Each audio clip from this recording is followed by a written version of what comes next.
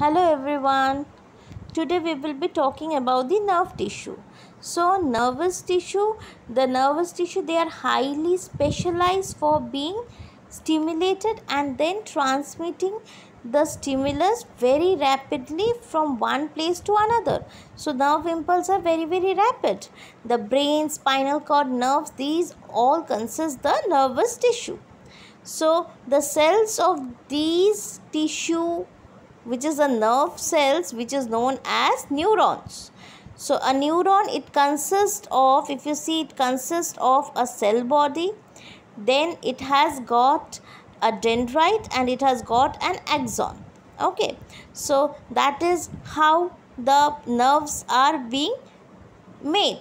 And an individual nerve cell is made is almost a meter long. Many nerve fibers bound together by connective tissue make up the nerve. The signal that passes along the nerve fiber is called nerve impulse. Nerve impulses allow us to move our muscles when we want to. The functional combination of nerve and muscles that is a fundamental combination of the mus of any animal.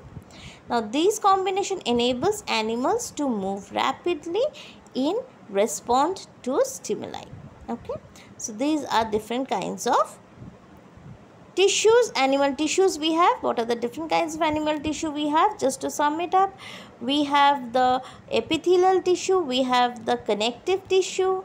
Then we studied about uh, the muscle tissue muscular tissue and then the nervous tissue as well. Okay Thank you.